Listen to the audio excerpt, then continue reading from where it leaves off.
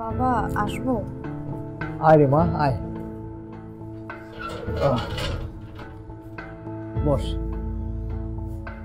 বাবা দাদি না আপনার উপর খুব রেগে আছে। কেন? আমি আবার কি করলাম? না মানে আমি আপনার একটা পারমিশন নেওয়ার জন্য দাদের কাছে সুপারিশ করতে গিয়েছিলাম তো। সুপারিশ? কার সুপারিশ? কিসের সুপারিশ?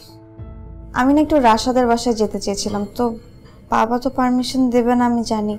তাই দাদিকে বলেছিলাম আর দাদি না হঠাৎ রেগে গেল বলল যে কেন যেতে দিবে না? এত বড় সাহস আমি দেখছি ওকে। তোর দাদি কোথায়? দাদিকে তো কোনো মতে বুঝিয়ে শুনিয়ে রুমে রেখে এসেছি। রাসা মানে হচ্ছে আমাদের বাড়িওয়ালার মেয়ে। এত রাতে তুমি তার সঙ্গে দেখা করতে যেতে চাও তাও আবার আমি যাদের সঙ্গে তোমাকে মেলামেশা করতে বারণ করেছি তার সঙ্গে? তোমার তো সাহস কম না? বাবার রাশের সাথে মিশলে কি হবে? এক থাপ্পড় মেরে তোমার দাঁত স্বপ্ন দেবো বুঝলে কি হয়? তুমি জানো না যে সালেক সাহেব একটা ঘুষ করল হ্যাঁ? সে মিথ্যে কথা বলে ঘুষ খায় সম্পদের বড়াই করে নামাজ পড়ে না। তার মেয়ের সঙ্গে তুমি কীভাবে মিশতে চাও হ্যাঁ? ইয়ে মানে বাড়িওয়ালার দোষ তার ছেলে মেয়ের তো কোনো দোষ নেই। আর ওই একই তো কথা তারাও তো নামাজ পড়ে না। যে পরিবারে পারিবারিক কোনো শিক্ষা নেই সেই পরিবারের ছেলেমেয়েরা ভালো হয় কি করে?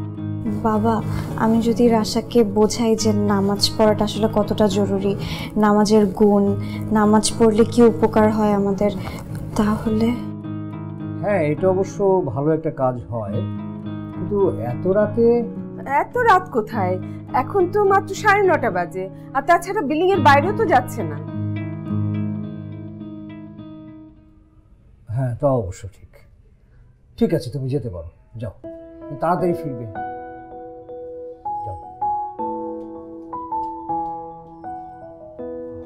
আসসালামু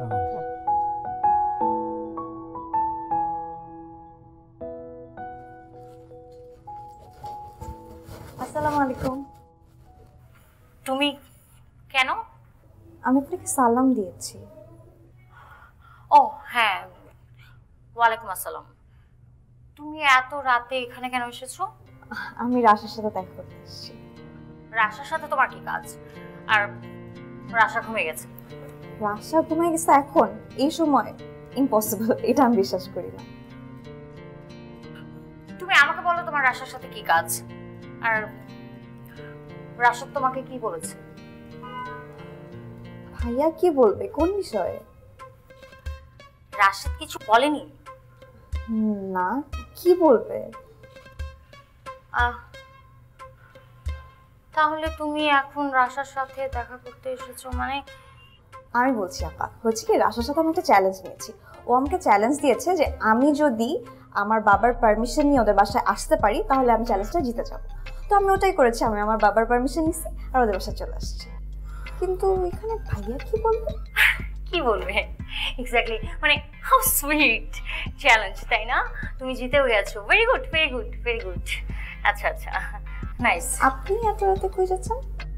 আমি বাসায়? ও আমি ভাবছি আপনি এখানেই থাকেন। ও আমি? না না না আমি কেন এখানে থাকব? আজকে একটু রাত হয়ে গেছে। এই- যে এখন মাত্র বের হচ্ছি। আর তুমি জানো রাশার রুম হচ্ছে যে তো মনে হয়। তাই না? সোজা গিয়ে লেফটে ঠিক আছে। ঠিক আছে ওখানে যাই। হ্যাঁ?